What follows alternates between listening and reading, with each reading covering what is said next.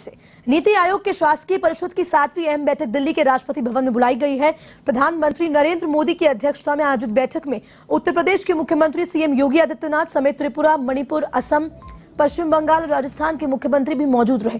बैठक में राष्ट्रीय शिक्षा नीति, स्कूली शिक्षा और उच्च शिक्षा के क्रियान्वयन के साथ ही देश को तिलहन दलहन के मामले में आत्मनिर्भर बनाने और शहरी प्रशासन के मामले पर विचार विमर्श किया। इधर तेलंगाना के मुख्यमंत्री के चंद्रशेखर राव के नीति आयोग की सातवीं गवर्निंग काउंसिल की बैठक का बहिष्कार किया।